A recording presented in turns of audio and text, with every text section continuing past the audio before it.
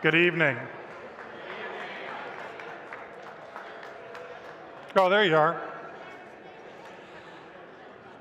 I think there's some dessert still being delivered, so uh, we'll, con- we'll continue with that. I in- invite you to continue to uh, uh, enjoy the meal. I hope it was um, satisfactory for everyone. Mm.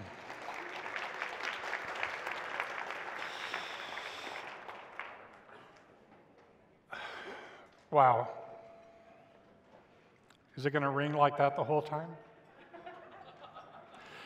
I, I'm wearing, I call these Madonna mics. Um, every time I wear it, I feel like a natural woman. And, uh, but Toby Keith has nothing to worry about, I don't think. But. So, uh, this is the time in our program, in our convention, where the bishop's supposed to give the um, kind of the state of the diocese address. Um, and uh, I, think it's also um, the elephant in the room. It's my last time that I'll be addressing uh, this body uh, and the representatives of all of our congregations uh, as the, the bishop of this diocese. Um, yeah. Thank you. I'll be honest with you, I've, I've, um, I've spent the last several weeks uh, sitting in, my, in front of my computer trying to think of what I wanted to say tonight. And I can, I can show you what I came up with. Um, there it is. Uh, not, not, uh, not a lot. Um, it's crossed my mind to dig everything out that we've done for the last 12 plus years and just rattle off all the wonderful accomplishments that you all have, have done in this diocese and um, the great things that we've experienced and the journey that we've been on and, and maybe occasionally toss in a few of the challenges that we had and um, some of the, the times when we, we wondered what, either what we were doing or whether we would get through it or, or, uh, or even wondering why we were doing what we were doing. Um, I kind of stepped back and I said, I don't think rattling off a, a whole list of things is, is where I really wanted to go.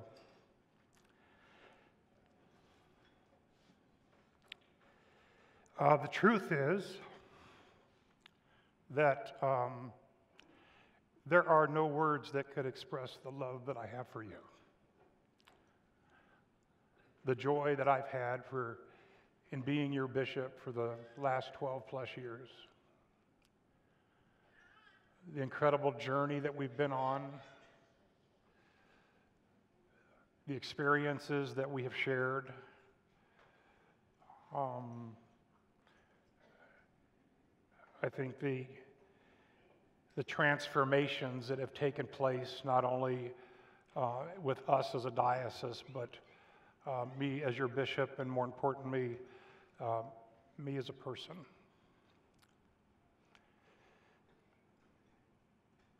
You have blessed me in ways that have transformed me and filled me and encouraged me and in times of challenge, given me the food that I needed to persevere and endure. The encouragement to, to represent you throughout the world uh, in amazing places and some challenging places. The support and the love that you have, have given to Debbie and I and our family has um, is, is even beyond comprehension. Uh, there'll never be a day uh, going forward in my life that I won't think about you and this place uh, and the incredible gift that it has been to be your bishop. We've done a lot. We have, um, we have grown as a diocese. We have um, faced challenges with internal structures that we've overcome. You heard Henry this morning talk about. Uh, took us a little bit longer than we planned, but finally getting it to a place to where our internal processes and accounting and so forth is where it should be.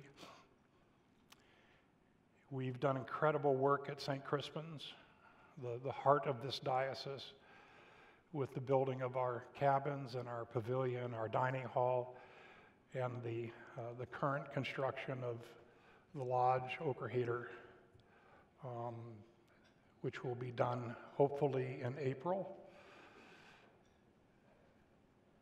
We've positioned that ministry and that place um, to be a beacon to not only Oklahoma, um, but far beyond our walls and throughout the world as a place where people can come and to know the presence of Jesus Christ and to be validated for who they are without any question or judgment or expectation of, of who they should be, and to be transformed. And we've done that every year in our summer camp program, a place where, where the youth have been able to come and, and just be who they are, and they're accepted, and they're loved. And that same love is pervasive throughout this diocese. I've seen it in the week by week visitations that I do to our congregations throughout the state to our churches in Oklahoma and Tulsa, and to our missionary outposts and our faithful congregations in places like Poteau and Idabel and Hugo and Antlers and Guymon, and for all of you that I've threatened with putting you in Guymon when you've been so. I just want to say I've got four more months.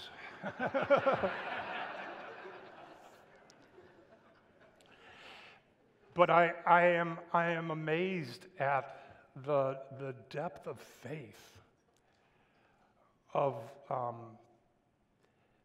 the energy of the people of this diocese to really be about um, the love of Jesus Christ in, in their various contexts, in the places where they're at, in, in reaching out to the community and the world around them. Uh, it, doesn't matter in, in our smaller congregations, it doesn't matter the resources they have because their resources are themselves. It's, it's, it's who they are. They, they can't help but being the presence of Jesus' love in the world because it's so intuitive in who they are. And I see that everywhere in our diocese. I see it in our young people. We talk about that our youth are the future of our church. I got news for you the youth are our church today. Sometimes we need to step back and I think listen to them a little bit more. Um, they live in a place where um, this, the, the, generations coming up behind us live in a place where uh, judgment's not a part of their everyday lives. They don't see color. Um, they don't see sexual orientation. They don't see language barriers. What they see is children of God, humanity. What they see is others who are on the same journey they are, which is to, to try to live into the fullness of what God intended for them to be, and a willingness to walk that journey with each other. Uh, not trying to knock each other out of the way or take advantage, but to, to raise each other up. And if someone falls behind, they go back and they get them and they bring them along with you. It's an example that I think many of us need to pay attention to because that's not the world and the society in which we're living right now. I've, I've said this to the youth on a number of occasions. I've, I've said it on occasion in my sermons on Sunday morning. Uh, those of us in, in my generation, um, we've done a really good job of messing up the world. And, and we're, we're leaving it on the shoulders of our young people to fix it. But I tell you that they have the capacity to do that. They have the energy, they have the, um, the creativity, the ingenuity, the, um, there's just something about them. You, it's, when you tell them no, they, they, don't, they don't accept no. When, when you tell them that it's not your turn yet, they're going, yeah, right, get out of the way. Uh, and that's okay. But we can learn from them in, in how we live our lives and the things that we do, in, in maybe helping us to tear down those um, judgmental places in our lives. The tapes that play back here when we were growing up, if you want to call it that. I'm not sure we're there yet. I've still, people ask me, what do you want to do? I say, I haven't grown up yet. I don't know what to do when I'm growing up. But Canon Jose spoke to us this evening in his, his sermon about um, my take on it. Forgive my uh, interpretation. Um, we have an opportunity to change the world. we have an opportunity to, to get out of our comfort zones and to go into those places where they may be a little fearful and a little bit unknown and a little bit of challenging, but, um, but to do it in the knowledge that we're not all by ourselves. That we walk with, with that person that fills us with our lives, our spirit um, everything that's part of our souls. And so often, I think we want to stay in safe places and um, we'll build our little protective walls and, and um, stay in our comfort zones. But I think if we, we look around us, we can see what, what doing that has done. Because we've all fallen away from wanting to live in community with one another and and we listen to the rhetoric and to the conversations that are going on around us, and it's not about building community, but it's about dividing us, about separating us into, into factions or agendas or into groups. And, and for a lot of people, I think the majority of people in the world, we're being forced into a place to where we have to choose something. But none of the choices are good or right. Because in every single choice that's being placed before us, it leaves somebody out. It tells somebody that they're not worthy, that they're not good, that they're not welcome.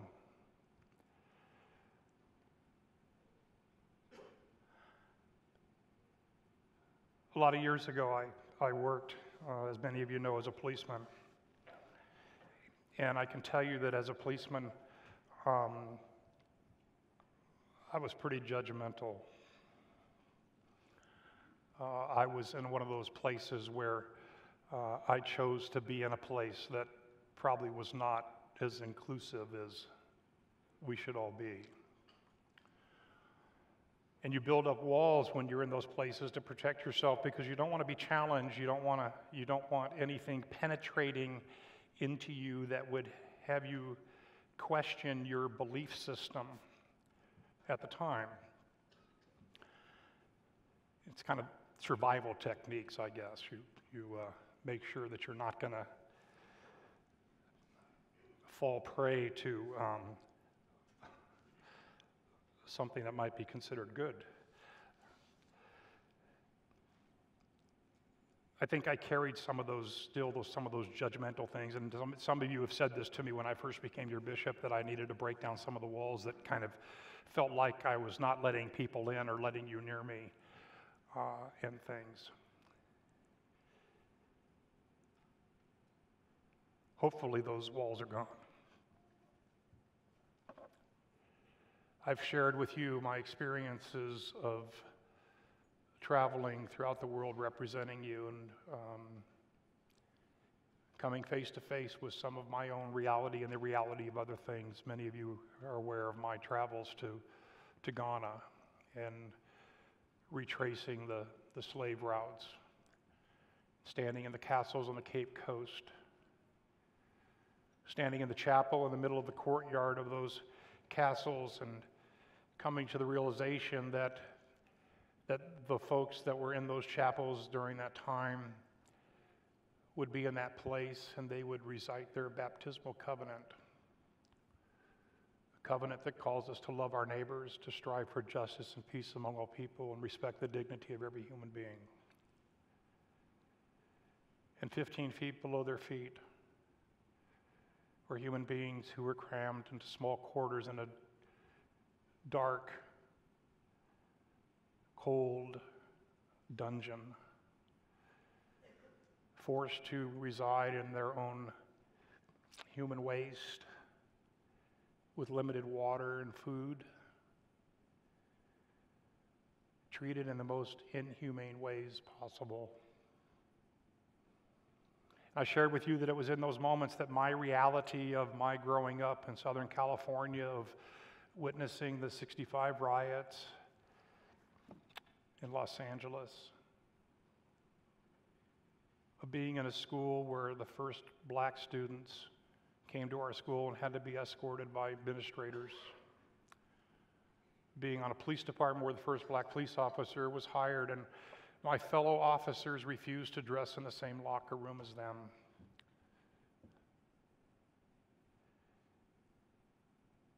And I never said a word about it. I just went on with it like it was part of life. But it was in that moment, that first trip to Ghana, where that reality struck me with the reality of the truth.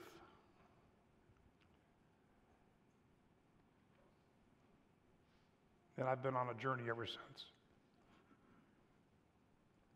Not just on a journey of recognizing my own complicity in the racism that lives within our communities and in our world with challenges to almost everything that I found in my life that was judgmental or compromising or in some way unfair to others. Hopefully, in sharing some of those stories with you, that you too have um, maybe spent just a little bit of time looking at where you are in your lives and where you're headed and how do we take what it is we have now and turn it into a place where instead of knowing the pain and the hatred and the, the judgment and the divisions and the exclusiveness, to a place where we see more of the love of Jesus Christ, more of the welcoming, more of the raising each other up instead of tearing each other down, more of reaching out to touch those who are disenfranchised with a little more love of Christ and a little less disdain because they're living on the street or blocking our way, or maybe we're standing downwind and we don't like the smell. I guess in sharing all of that, it's a way of saying that you you have at least changed one life. You have opened up my heart. You have filled it with love that I'd never known in my life, short of that of my wife. You have allowed me to grow and to evolve, to hopefully become a man that stands for something in the world. In just a few weeks, you're going to elect the sixth bishop of the Diocese of Oklahoma. And in April of next year, we're going to consecrate that person. There's a part of the consecration, the ordination service of a bishop, where the presiding bishop will say, and make them a bishop in your church.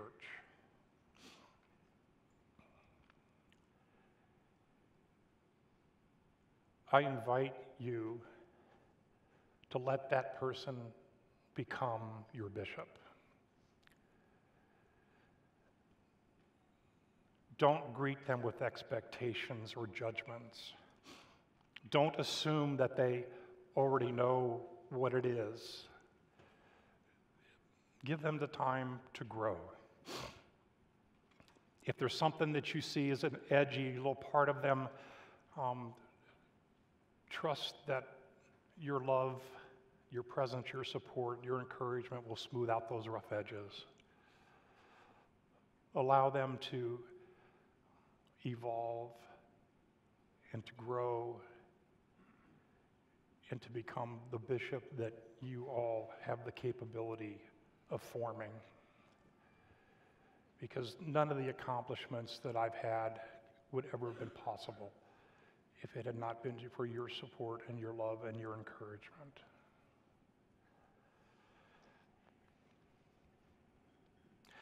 So, my charge to you all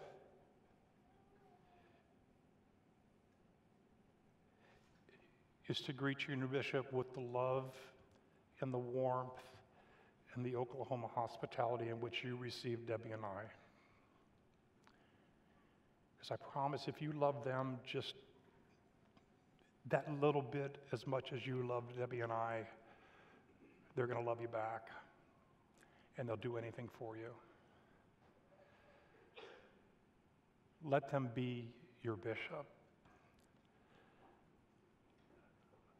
Listen to them, help them.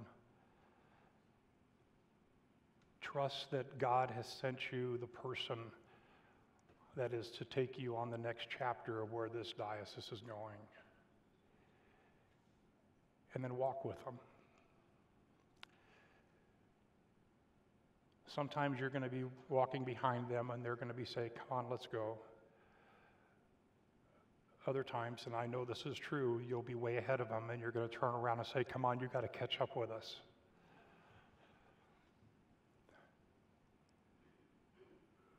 But I know for a fact that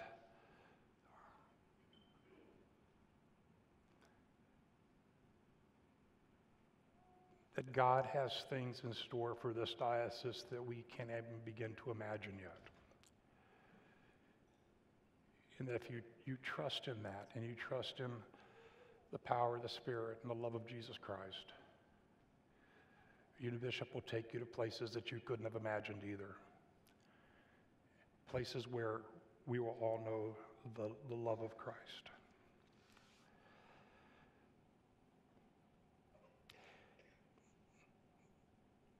I wish there were a way that I could personally thank every single person in this diocese and just tell them and let them know how much you've all meant to me. I hope you'll take that message home to your congregations and to your, your churches your institutions.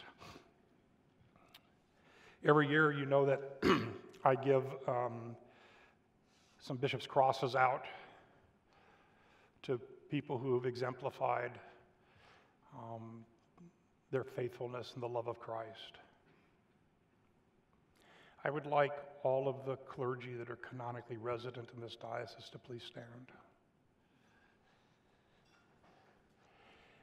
And I would like all of the lay delegates, just the lay delegates of each of the congregations, not the alternates, not guests, to please stand.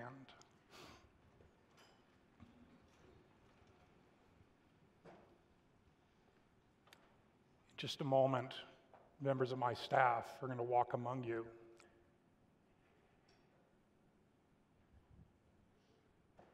And they're going to give each of you a replica of the bishop's cross as representatives of all the people of this diocese. In my thanks for your faithfulness, for your perseverance, for your encouragement, for your example of the love of Jesus Christ. As they give you your cross, if you would please then just sit down. And while they're doing that, I've been told I need to give a commercial before I truly lose it. Um, for those of you who have not gone, and you may see some of the pictures that were up earlier this evening, I will be leading my last pilgrimage to the Holy Lands as the Bishop of Oklahoma next year from June 24th to July 3rd. And that information will be posted on our diocesan webpage and in our new weekly newsletter uh, within the next couple of days. Um, but the first 25 people who send me $500 to reserve their spot, um, you too can go and get a bobblehead. No, I'm just kidding. Uh, but um, it, it, uh, there are plenty of people here that you can talk to who have been on this journey, and it's an incredible opportunity to, um, to walk where Jesus walked and to uh, experience um, his love in a new way. So if you're so inclined, if you have questions about it, contact um, Leslie Graff, my executive assistant, and she can, she can fill you in with more of the details.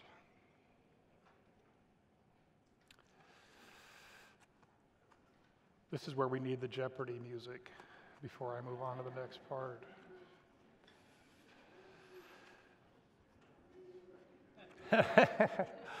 there you go.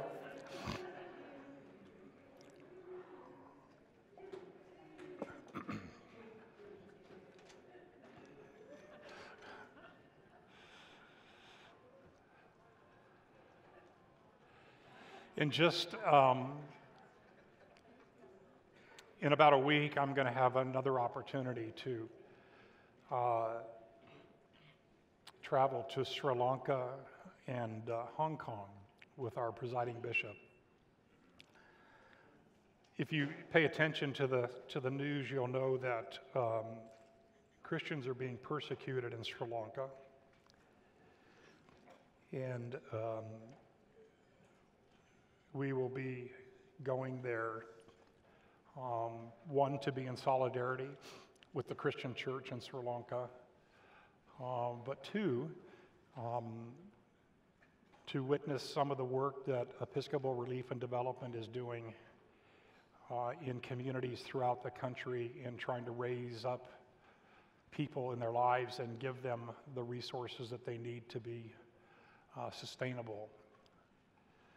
Um, the same way that I ended up in Ghana and the same way I've ended up in other parts of the world was with some of these trips with ERD and to, to see the work we're doing. And that's an extension of the work that all of you do. Uh,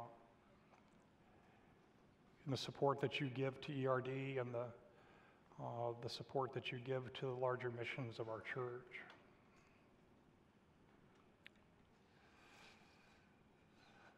Did we get everyone?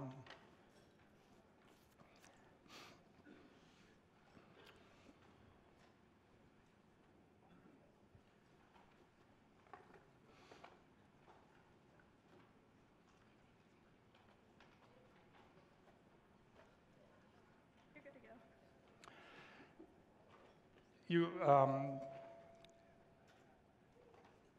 I do want to give out one Bishop's Cross this year, though.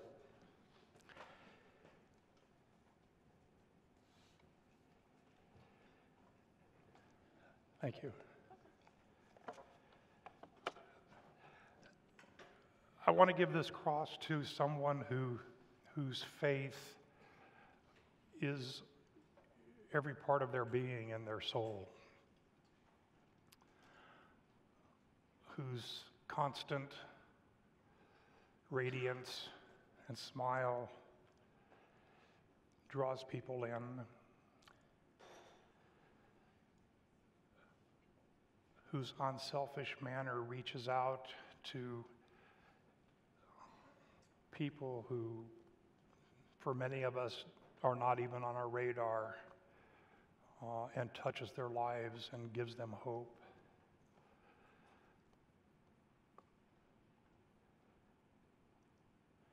Someone who loves passionately and unselfishly and has been a huge part of my journey. And hopefully will be a part of the rest of my journey. I'd like to present this cross to my wife.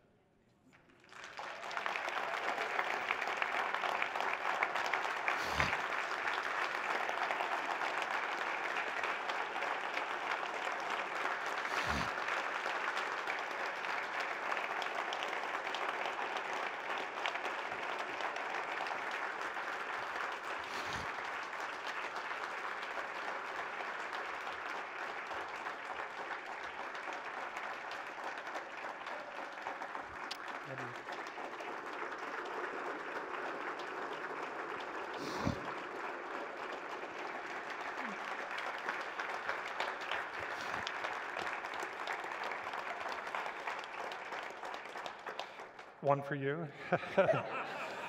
one for me. Debbie and I want to tell all of you thank you. Thank you for loving us. Thank you for supporting us. Uh, thank you for filling with us with, with so much joy. Um, we've been changed forever, and we'll never be the same, and that's good, and it's great and you will all live always uh, in our hearts and in our lives. Thank you.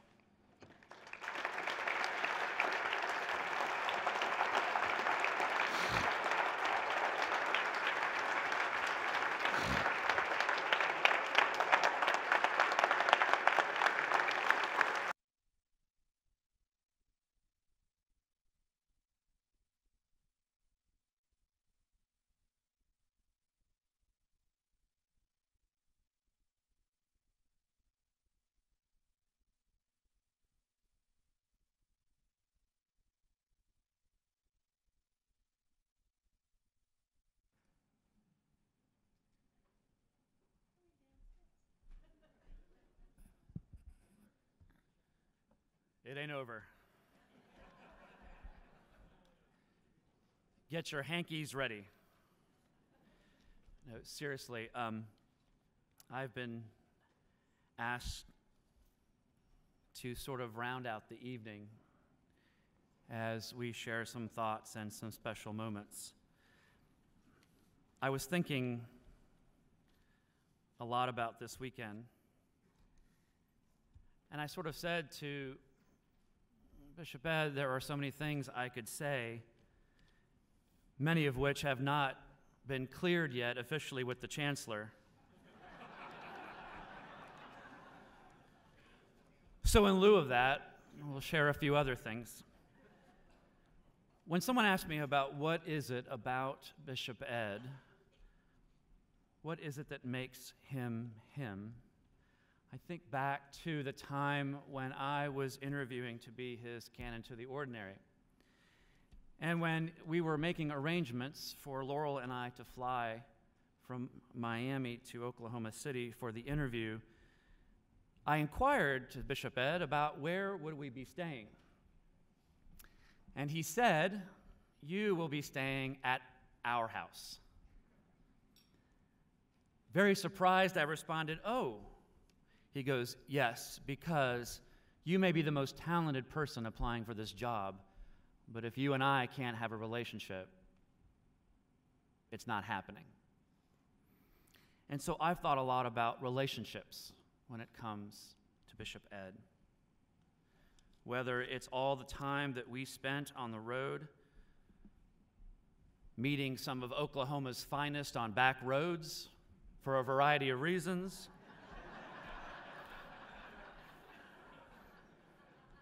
That's all that Bill allowed me to say in that regard. Whether it was trying to do midnight runs in towns across Oklahoma looking for super tacos at Jack in the Box, I always cherished our relationship and the time together. The serious talks about the church, the serious talks about our faith, about our families, sometimes about just ridiculous, silly, stupid things. I cherish those moments.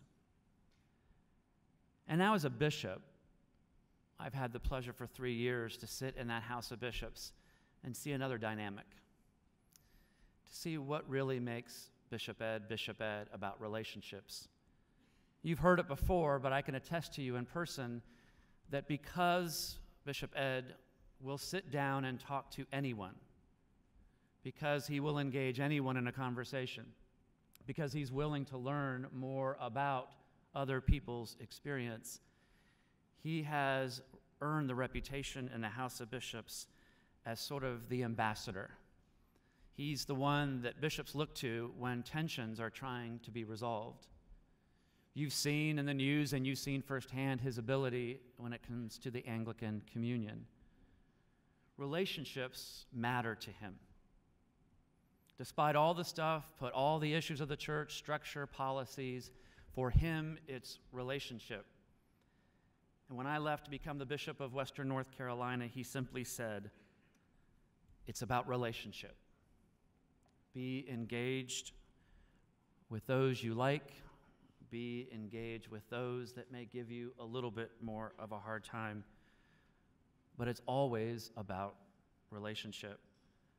His personal relationships, his professional relationships have been modeled in that sense of getting to know the other person, even when he may not agree.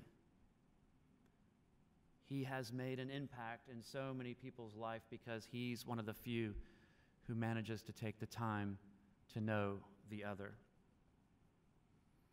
And there's one person whose relationship with Bishop Ed has been special.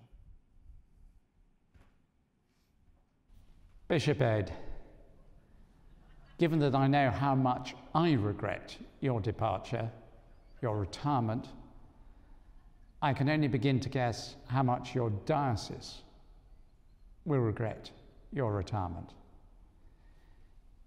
You've been there a long time now, and your contribution to the global church and to the local church has been immense, as has been your contribution to, you, to society through 20 years of service as a police officer in California. Certainly, as you come to the end of this stage of your ministry, and I'll come back to that in a second, you can look back and feel that God has drawn you in wonderful ways. You and Debbie have challenged me, supported me, encouraged me.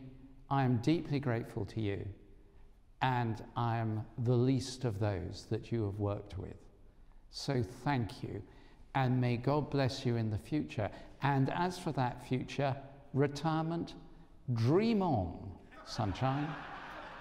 I've got plenty of ideas, and I trust and hope that you will continue to be part of our lives because you are so valued and important, not only in Oklahoma, not only to the Episcopal Church, but also to the Anglican Communion and the body of Christ around the world. For your wisdom and your courage and your determination and your skills as a reconciler. Bishop Ed, may God bless you.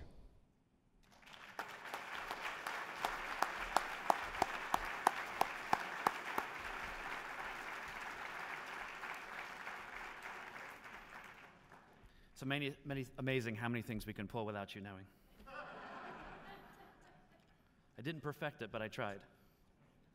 One of the things that you heard the Archbishop talk about is his place in the larger community, in the larger communion.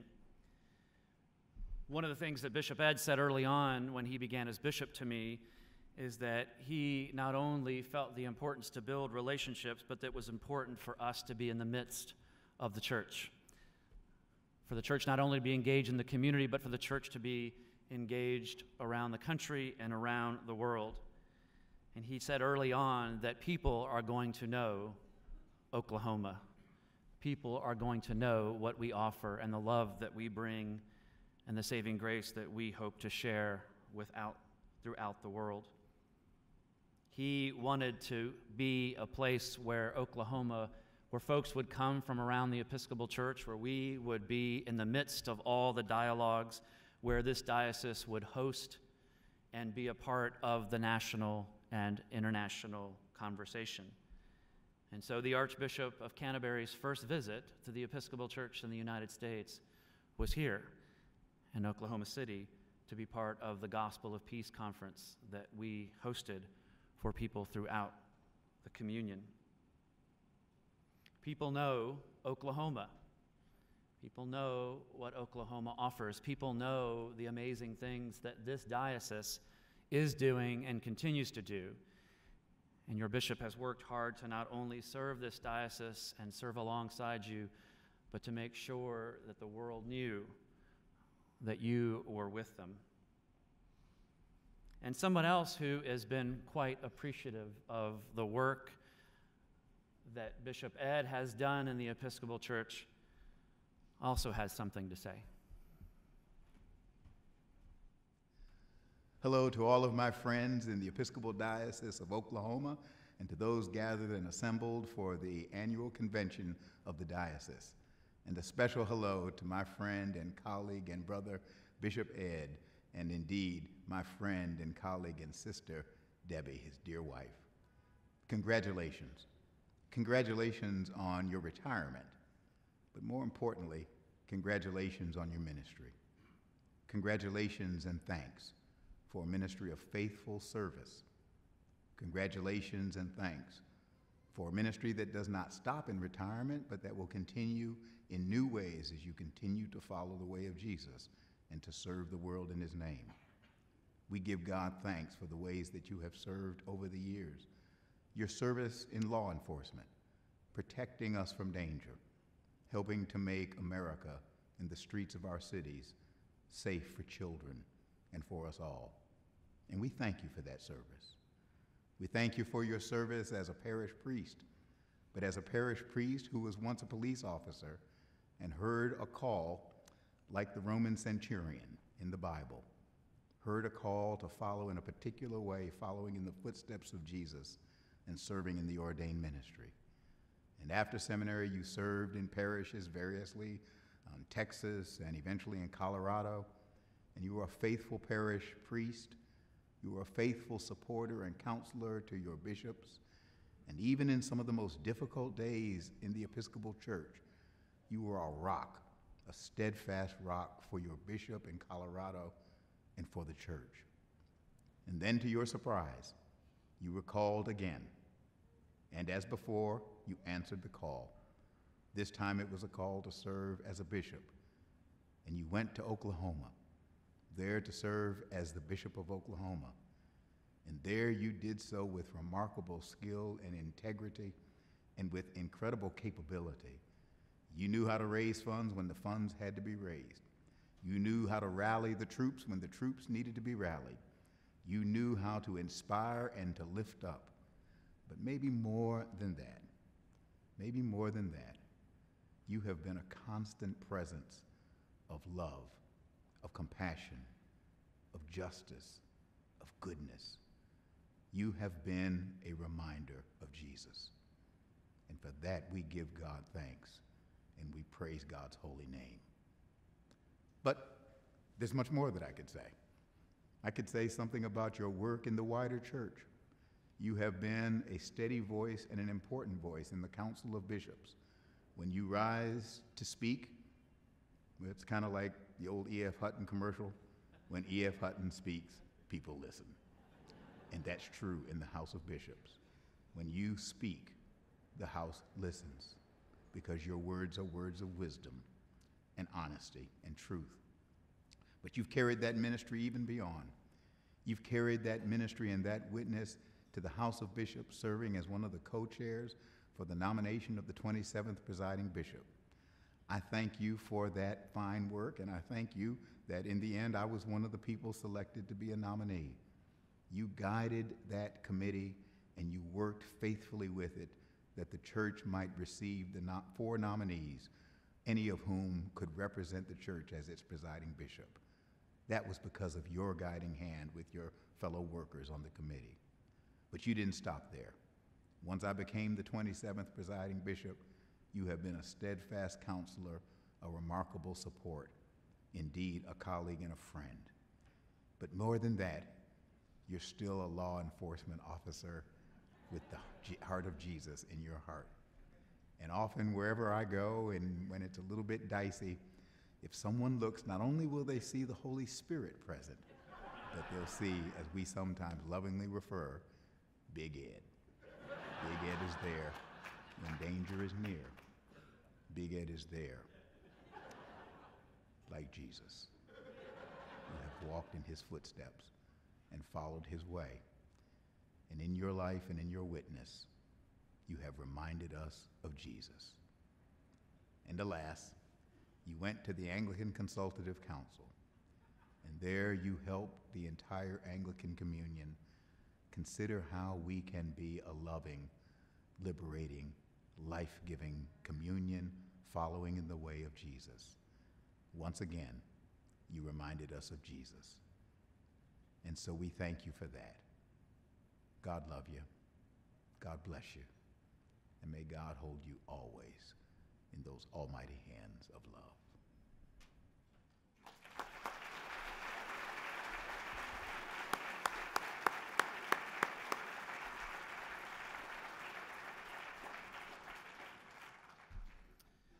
So, Bishop Ed, it would be very hard to sum up all that you have done, all the places which you have impacted not only this diocese but personal relationships throughout the Episcopal Church, what you've done for the Anglican Communion, the clergy of Oklahoma, the people of this diocese.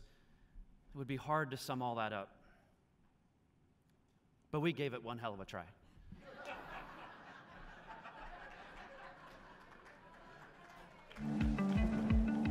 Grass does not grow under Bishop Ed. He's a guy that brings good practical experience to the table. He has an incredible way of bringing tensions to the center. He knows BS when he sees it. He doesn't lose his cool, for one thing. There's a method to everything he does. He knows to do the right thing. He's lived life kind of at both ends of the spectrum. He's fully in something, and when he's fully in it, he's fully in it. He's certainly very decisive and doesn't waste a lot of time. He has the ability to look at things from the 30,000 foot level, but at the same time does not have the fear of getting into the weeds to understand how everything works. You challenge him that something can't be done, and that's all he needs. And he knows to hold people accountable. He is undoubtedly a man of God. A lot of people might call him sort of a quiet teddy bear. They find out that there's a warm, fuzzy person in there, they, they're really surprised. He doesn't look for excuses, he doesn't need anybody else to do it for him. And I think Bishop Ed brought um, a unifying presence and an ability to think through issues um, in ways that kind of keep people at the table. He's just a unique bishop. I mean, you know, how many bishops used to be a vice cop? He was a get it done kind of person, and he was able to do that.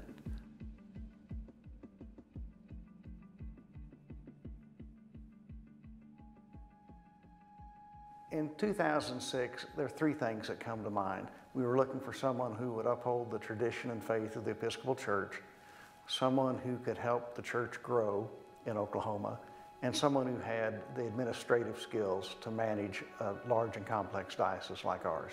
You know, you may remember that after 2003, we were pretty divided as a church. I mean, as the big Episcopal Church.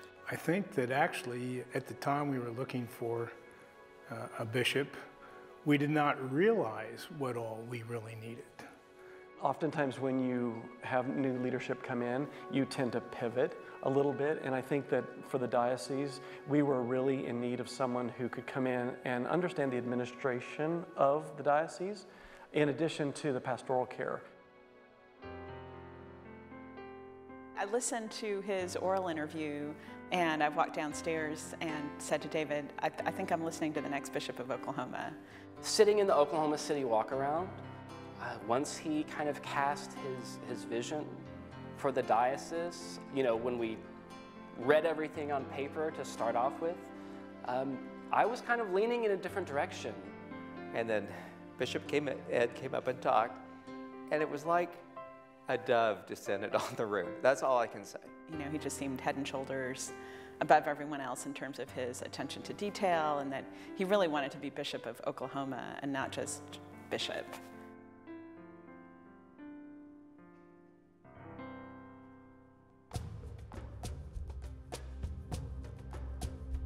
Bishop Ed's ability to bring attention to the diocese has been really pretty incredible. And I think it's just because he's been willing to stand out there and sort of be the champion and cheerleader of Oklahoma. Don't think any of us really probably totally get what a difference Bishop Ed has made for the Anglican Communion and keeping the Episcopal Church in the Anglican Communion. Everything from helping uh, Bishop Curry in his relationship with the Anglican Communion to uh, his uh, Bishop Ed's relationship with Justin Welby to being on the Anglican Consultative Council. I think he's the kind of person who can make a difference at those meetings that, you know, they had uh, someone else, th- they might not be able to do that. Uh, he was elected to executive council. He uh, became a member of the executive committee of, elect, uh, of executive council. Uh, he was uh, appointed co-chair of the presiding bishop's search committee, which developed a great relationship not only with the presiding bishop, but also with the Archbishop of Canterbury.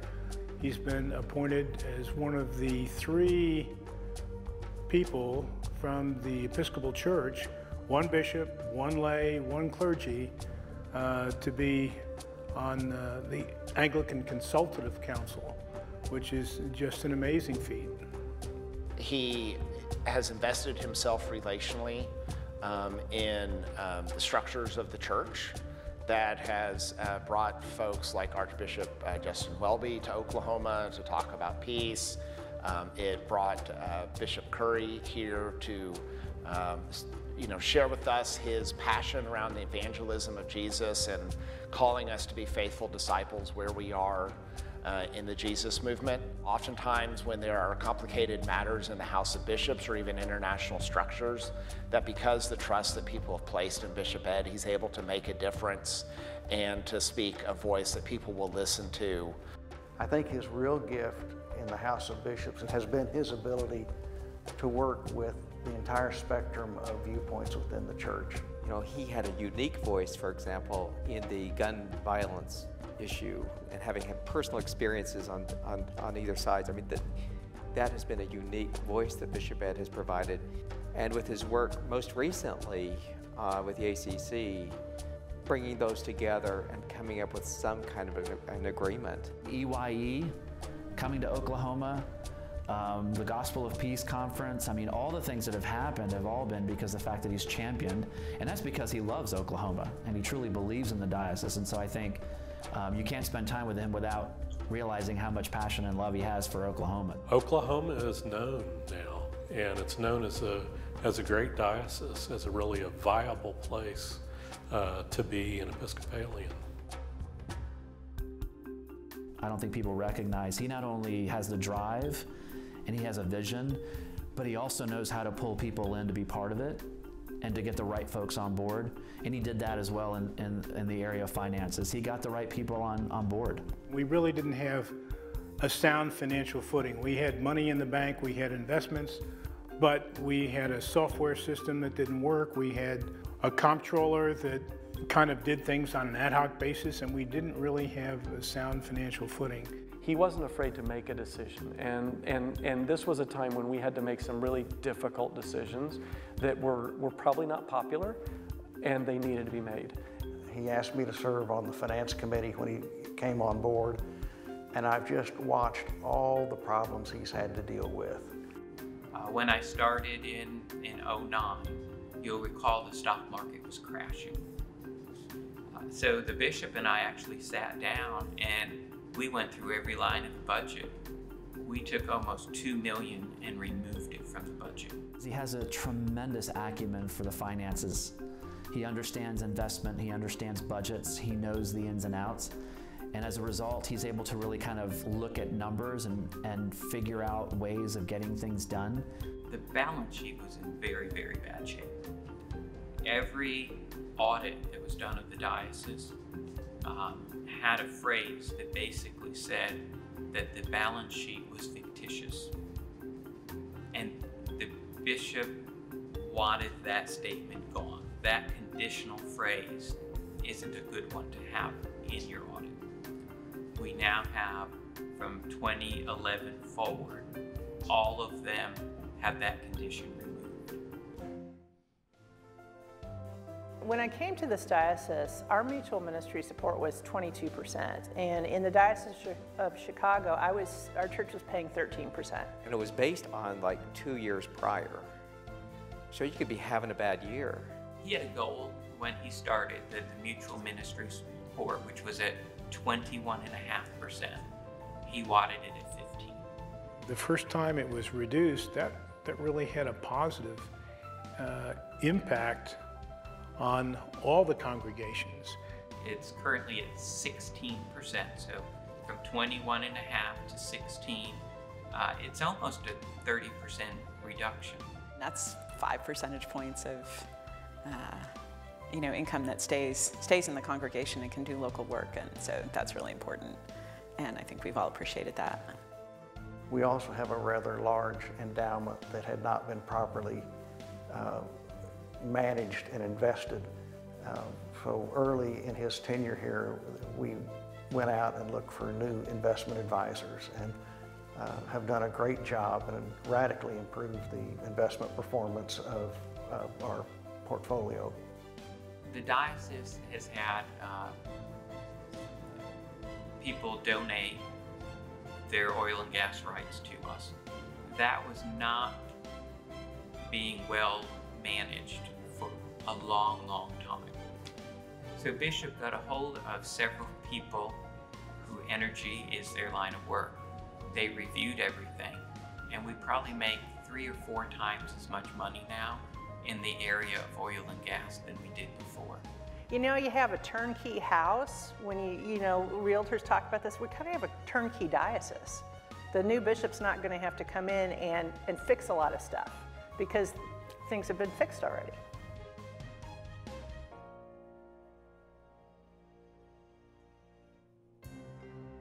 Bishop Ed, from very early on, made it very clear that he wanted to be involved in all facets of the diocesan life and participate. And so, and a big one was making sure that he was involved in Ardmore Village and St. Simeon's and Casady and Holland Hall. Those were all huge priorities.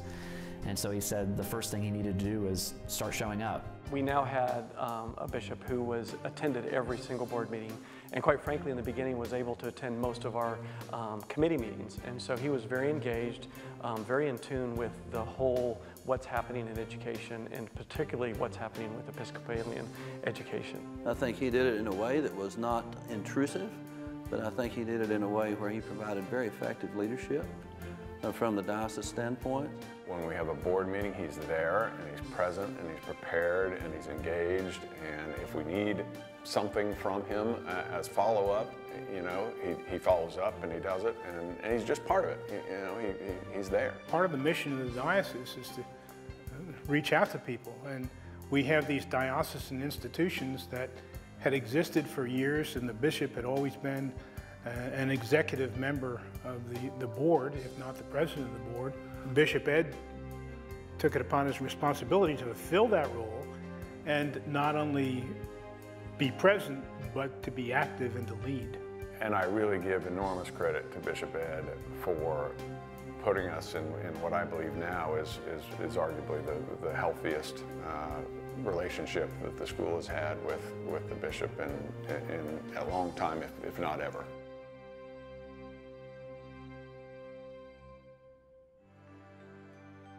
I think that he's ahead of ahead of his time, really, or uh, in relation to having something like the Iona program where we're educating our own people to stay here.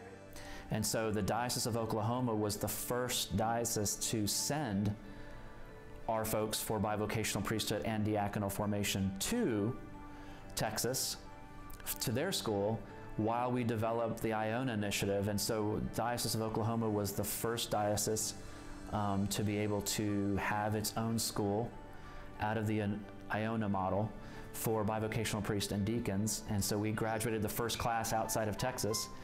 And so Oklahoma was the first diocese, and now there's 22.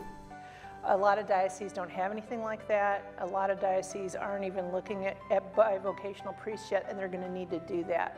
With there being such a need uh, for priests, not only in our diocese, but across the country, and to be able to fill those needs, especially in rural areas that uh, can't afford, and small churches that really probably don't need a full-time priest, and sure can't sure can't pay for one uh, that that was just such a, a stroke, I think, of genius to, to implement that.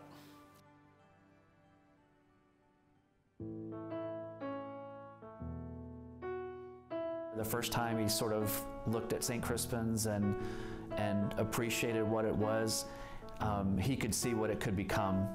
Back in 2009, we became aware of some financial irregularities out at St. Crispin's. He had to make a change in leadership there, and we discovered some issues that were not readily apparent that he dealt with. All their finances came into the diocesan office, and so we've been managing them for a number of years. I think the biggest challenge uh, before uh, Bishop Ed came and, and started investing time uh, and energy and love into into St. Crispin's was that, especially during the summertime, we had to, the conference center had to shut down so camp could happen. But now, with the new facilities, uh, we, can, we can do both. And, and we can invest time and have a dedicated place uh, for our camp and for the youth of our diocese and people from outside the diocese to, to experience the wonderful St. Crispin summer camp community, but then also still have uh, people uh, come in. And so it helps uh, not just financially, but, but it also, you know, I think help, helps spiritually that we can expand the reach of, of what we can offer out there. The thing I appreciate uh, the most about his love for the youth is a recognition that really, if we don't develop character in the youth, then future generations are at risk. I think the work he's done at St. Crispin's to really bring youth back to the Episcopal faith and to the diocese has been amazing. He loves St. Crispin's and people in this diocese love St. Crispin's. A lot of our young clergy came out of our camping program. What he's created there is a hub for the diocese. It's formation of Christian community on the ground level. Having that secure, stable footing for the future to uh, allow us to do ministry out there, especially for our young people. To build St. Crispin's up from what was an okay place to one of the premier conference and camp centers uh, in the country today. And when we finish this next building project, uh, it's going to be top notch. I, I, think it's wonderful that, that we've named the, the dining hall after, after Bishop Ed. Uh, it's, it's kind of front and center. Bishop Ed was the driving force to, uh, to, to help grow St. Crispin's into what we have become and are becoming. And so it makes perfect sense that the central place where we gather uh, to share in fellowship and to, to share stories and to, and to share food uh, and nourishment, um, it makes perfect sense that it be named after, after Bishop Ed because we wouldn't have that uh, without his, his leadership and, and guidance and, and passion. I'll tell you something about Bishop Ed I don't think anybody appreciates. Uh, he might not appreciate. He's a much better singer than he gives himself credit for. Well, for a long time he called me Jeffy, and I don't know what that's about, but you know, I guess if that's what your bishop dubs you, then you just go with it. One of the really deficient things about Bishop Ed is his love of sweet tea. If he wasn't six foot four and he was smaller, he'd be a saint, and I'd put him on my dashboard. He can be very, you know, you know, kind of hard line. I mean, sometimes the, the LA cop might come out, maybe, but. For some reason, he loves me. I'm not entirely sure why. He is the wind beneath my wings. Uh, I don't think that it's because I had a security background. Uh, when I was chief of security at Oklahoma City University, I asked Jose one time if you had to have a cop background to work on the diocesan staff, and that I did have that background as a chief of security, and he said that counts. I think I was his comic relief, if nothing else. you know, you're playing golf with the bishop. I didn't know if we were going to be able to have a beer or, uh, and you know, somebody told an off-color joke, and you know, he didn't tell it, but he, you know, he, he appreciates a good off-color joke as much as the next guy. And And then the last thing I'll tell you that he taught me is to, as a bishop, always make your own plate at a potluck. Otherwise, you get a really big stomach. Well, I told him when he first uh, became the bishop that I would only bail him out of jail once per year in the middle of the night, and he's only abused that once. No, not really. Under advice of the counsel, I will not can answer that question.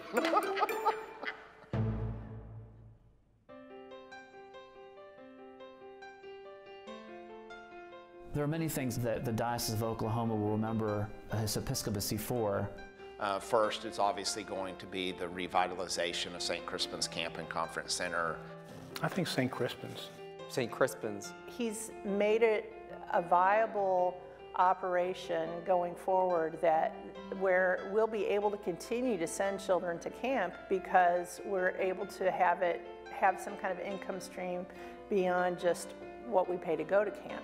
His legacy is that he took something that, quite frankly, was headed in a direction that was probably not going to be sustainable for, for a long time and really brought that back around to say, listen, what we have is valuable and we need to make sure that it's valuable not only today, but for generations to come. I think that he will leave, has left already a legacy at St. Simeon's in terms of his contributions and the church's contributions and support there.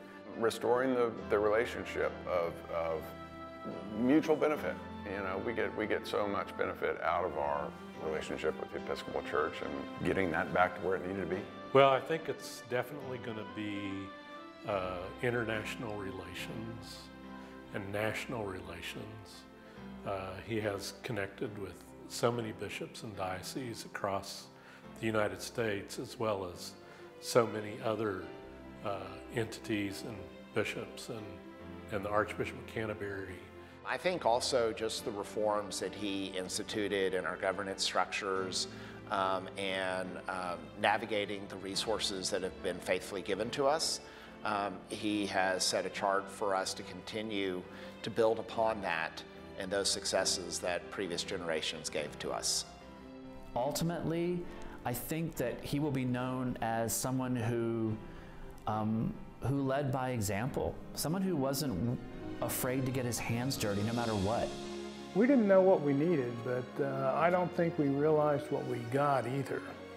Somehow, um, through prayer and, and hard work and, and God's blessing, you know, Oklahoma is a, is a healthy diocese, and we're drawing good people to, uh, to this place. And, and I think that's, uh, that's really reflective of, of Bishop Ed's leadership and, and vision for, uh, for us as a diocese here in Oklahoma.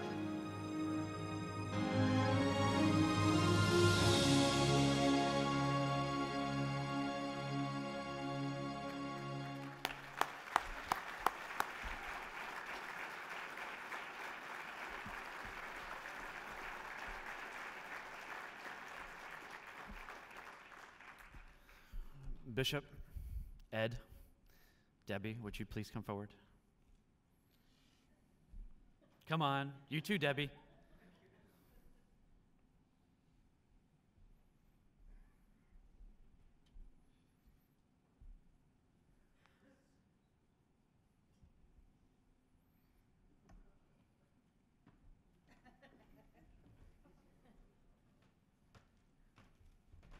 So it's my honor on behalf of the entire Diocese of Oklahoma to present a gift to you, Debbie.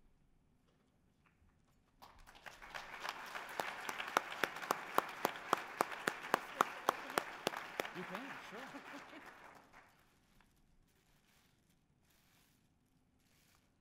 It's tissue paper. Surprise.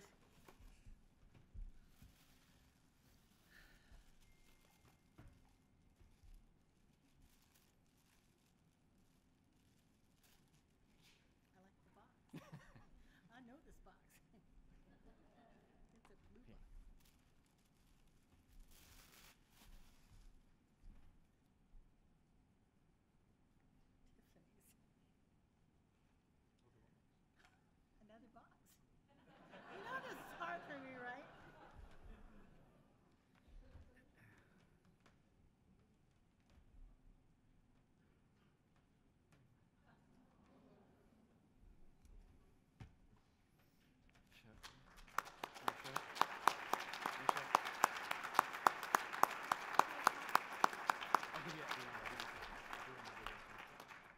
That's it. Thank you very much. Oh, wait.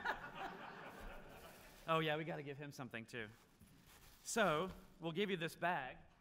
However, what you need to know that along with that bag, uh, you'll be receiving a uh, custom golf club fitting to begin retirement. And then once you get all those clubs, then you have to play somewhere, right?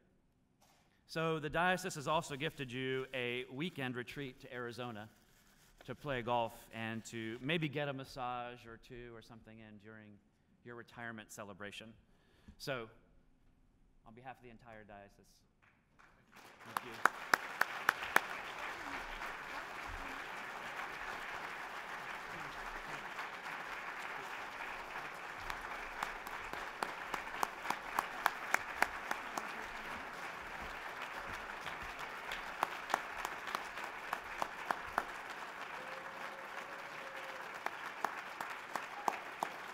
Stop!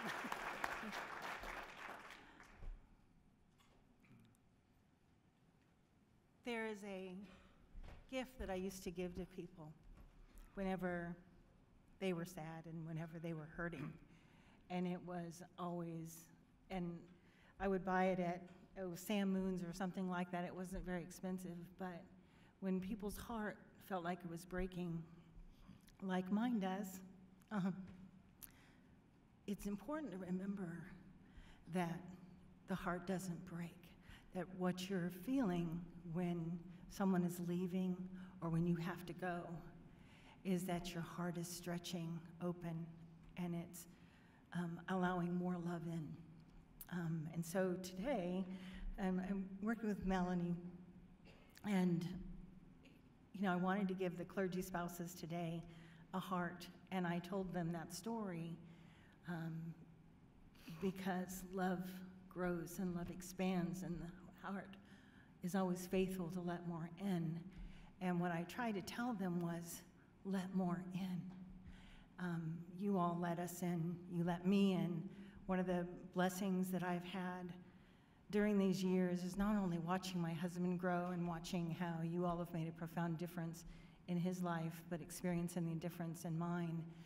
But the biggest gift is, and I get this, you all don't get this, I get this, is that every week that I could, I would travel with him to the different diocese, uh, different churches within the diocese. And so I got to experience the full breadth of the way that we do the Episcopal Church and the way that we do ministry. And every place that we went, um, there was another gift. And so I got to be present with people. And as I look across the room, there's so many of you that you have shared very intimate moments with me. And um, we got to pray together and we got to be together. And I want to I want to tell you one story, and I'm sorry, I know it's late, but I'm going to tell you this anyway. Is there was one particular day we went to a church, and the church had just been struggling.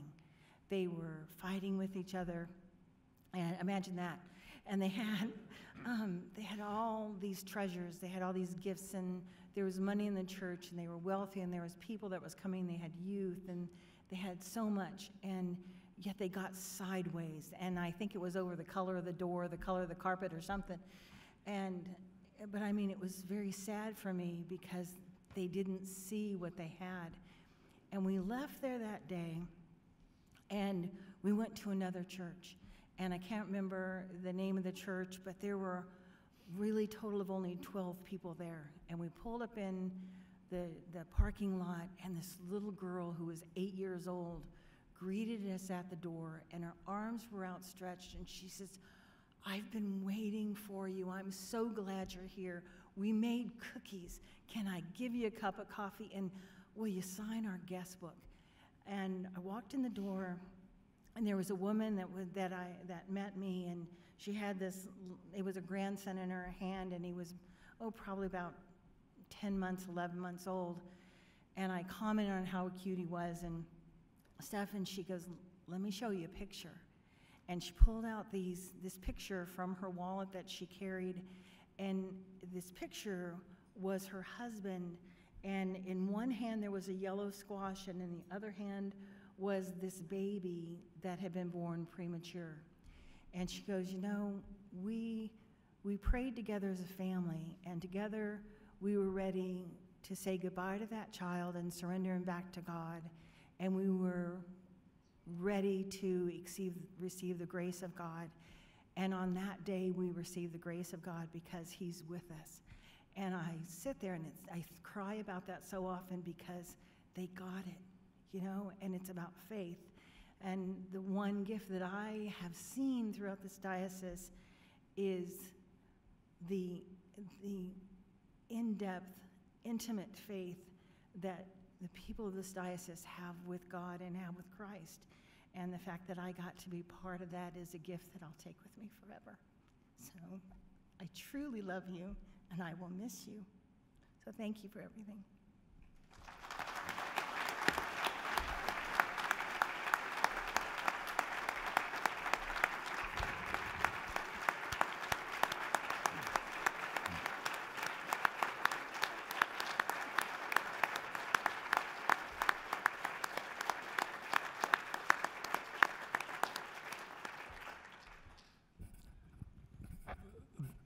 Can't tell you the number of times when um, Leslie would get a phone call in the office and people what were saying, "Is Debbie going to be with you on your visitation this week?"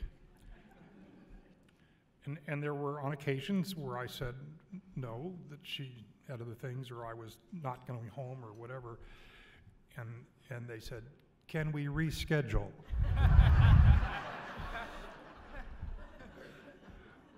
That actually happened one day on the Sunday when I showed up and she wasn't with me, and they said, Well, can you, can you come back when she's with you?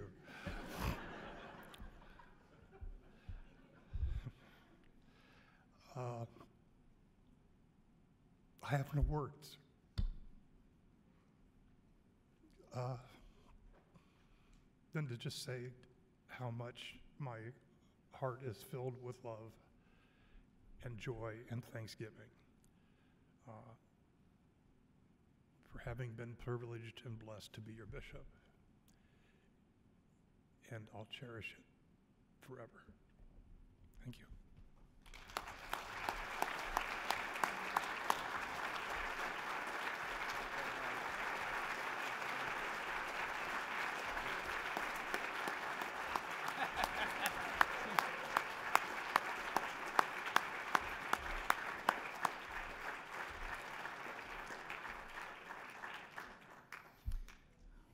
Ed and Debbie, thank you so much for all that you've done, all that you've given, for the relationships, the experiences, even those with law enforcement along the way in our travels, for every encounter. We are blessed and better for because of you two. And so thank you all for you. Have a wonderful night. Ed and Debbie, we love you. Good night.